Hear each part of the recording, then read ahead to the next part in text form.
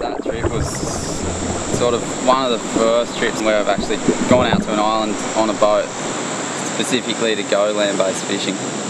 And been looking around on Google Earth and just seeing what's out there and uh, looking at marine charts and stuff as well and just seeing where the deep water meets an island and uh, had headlands facing in all different directions. So thought a week on that island is going to provide so many different opportunities.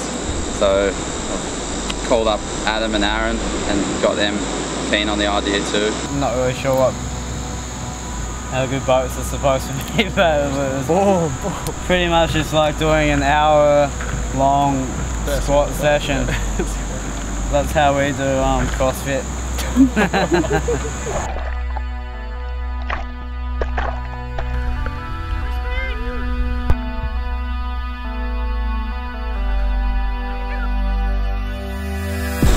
boat out there, um, set up camp, it was nice and sunny, nice and chilled at that stage.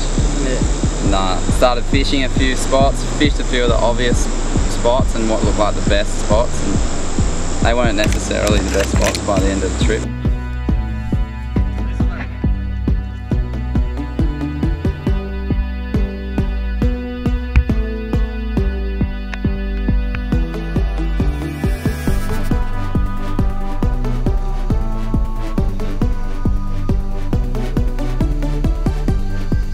Got a pretty crazy hit and a bit of a splash and commotion.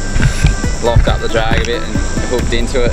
End up uh, being this long tom, which is just the longest thing I've ever seen. It was like a snake.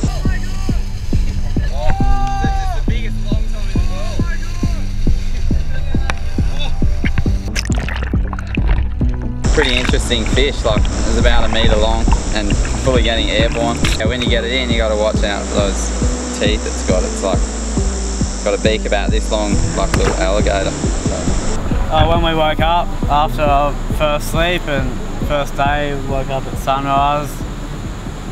It's such a pi picturesque like place. It's so beautiful to wake up to. Yeah, just love when we first get to a place the first day. It's just like one of our favourite things is exploring the island and trying to work out which which spot looks like it has um, the best opportunities for the pelagics to come past and um, so with the current lines, deep water, two current lines meeting and stuff like that, rips, channels and um, and just bait hanging around and yeah so we did a hell of a lot of venturing the first day. What do you got? What is it? Had a couple of GT runs, got fully smoked by a couple of big GTs. Uh, couldn't seem to hook one on the heavy setup, which is always the way. It's all, always on your light setup, to the biggest fish. Oh. I should have had my heavy set up, but I was pretty stoked because I had it on for a while. That was pretty cool. Yeah, that was I thought I had a pretty good fight. I think I did pretty well, but yeah, eventually, just when it got back close to the reef, it Got ya. did the other deep run. Yeah. And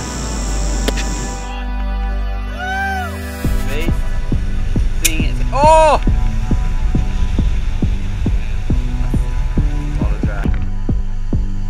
So I was casting an X-Rap and um, hooked a pretty crazy little reef shark that was pretty feisty. did you think it was a reef shark?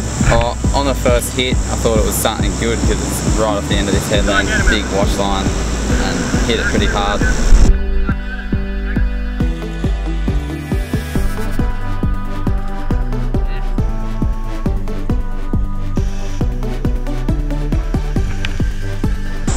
Mid-trip, we just got fully smashed by a huge thunderstorm.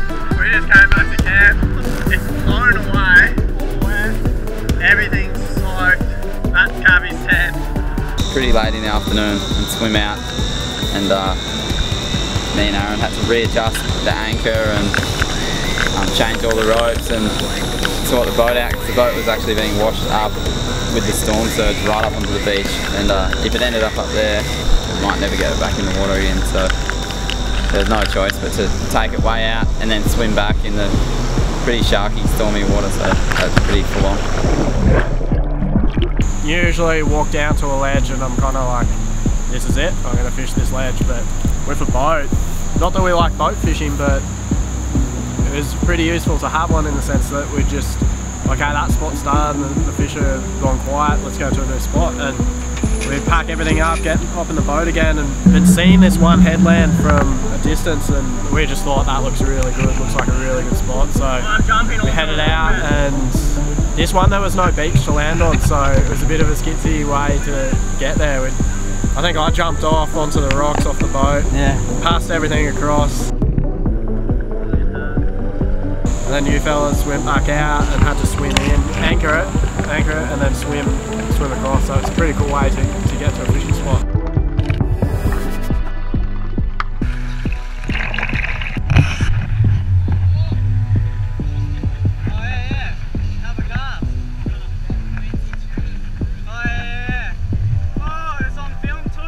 It's from really high up rock. We're actually fishing from right next to this huge eagle's nest, which makes you think that is probably the best spot to actually sight cast from. It's where the, The eagle's spotting them, yeah. It's there so I can find fish.